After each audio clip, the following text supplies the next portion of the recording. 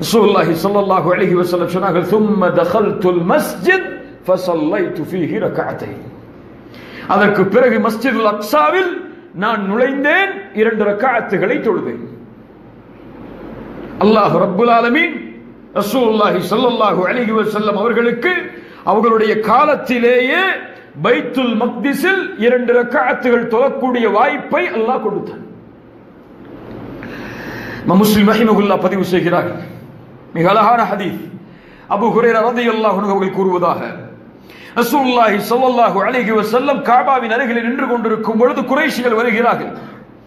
குறைஷிகள் வந்து இஸ்ராவுடைய பயணத்தை பற்றிய நிகழ்வுகளை கேட்கிறார்கள். அப்போது கேட்டார்கள் பைத்துல் மக்திஸை பற்றி எங்களுக்கு விவரியுங்கள். யார சொல்லல்லா பைத்துல் மக்திஸிற்கு இரவுடைய நேரத்தில் சென்றேன் என்று சொல்கிறீர்களே. அந்த பைத்துல் மக்திஸ் எப்படிப்பட்டது? சொல்லுங்கள் எங்களுக்கு. ரசூலுல்லாஹி ஸல்லல்லாஹு அலைஹி வஸல்லம் சொன்னார்கள் ஃபகுரிப்து குர்பத்தன் மா குரிப்து மிஸ்லஹு கப்து அந்த கேள்வி அவர்கள் கேட்டவுடன் என்- நான் நெருக்கடிக்கு உள்ளானேன். என்னால் எல்லாவற்றையும் விவரிக்க முடியாது. அவர்கள் அவர்களுக்கு பதில் சொல்ல முடியாவோ என்று நெருக்கடிக்கு உள்ளானேன். அது போன்ற நெருக்கடிக்கு இதுவரை நான் உள்ளாகவில்லை. அதற்கு பிறகு அல்லாவுடைய தூத ஸல்லல்லாஹு அழகி வஸல்லம் சொன்னார்கள் நான் என்னுடைய பார்வையை உயர்த்தினேன். அல்லாஹ் ரப்புல் ஆலமீன் எனக்கு அந்த மஸ்ஜிது அக்ஸாவை என் கண்ணுக்கு முன்னால் கொண்டு வந்தான். ரசூல்லாஹி சொல்லல்லாஹு அழகி வசல்லம் அவர்கள் சொன்னார்கள் அதற்கு பிறகு நான் அவர்கள் கேட்டதை எல்லாவற்றையும் அவர்களுக்கு நான் விவரித்தேன்.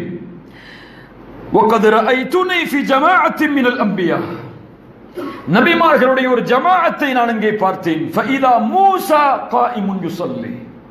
மஸ்ஜிது அக்ஸாவில் மூசா அலிஹிஸ்லாம் தொழுது கொண்டிருப்பதை பார்த்தேன். அவர் ஷனூஆ என்ற கோத்திரத்தாருடைய மனிதருக்கு ஒப்பாக இருந்தார். வைதா ஈசா பின் மரியம் அலைஹிஸ்ஸலாம் காயிமுன் சொல்லி ஈசா அலைஹிஸ்ஸலாம் அங்கே நின்று தொழுது கொண்டிருப்பதை பார்த்தேன். அவர் உருவா இப்னு மஸ்ஊத் அத்தகஃபி ரலியல்லாஹு அன்ஹு அந்த சஹாபியுடைய தோற்றத்திற்கு ஒற்ற ஒப்பாக இருந்தார். அதற்கு பிறகு வைதா இப்ராஹிம் அலைஹிஸ்ஸலாம் ஹலீலுல்லா இப்ராஹிமை பார்த்தேன் நின்று தொழக்கூடியவராக அவர் உங்களுடைய தோழரை போன்று இருந்தார் உங்களுடைய தோழர் என்றால் முகமது ரசூலை சொல்கிறார்கள். சொல்லல்லாஹு அழகி வசல்லம் அவருடைய தோற்றம் என்னுடைய தோற்றத்திற்கு ஒப்பாக இருந்தது. அதற்கு பிறகு ஜிபிரில் அலி இஸ்லாம் என்னுடைய கரத்தை பிடித்து அவர்களுக்கு இமாமாக நிறுத்தினார்கள்.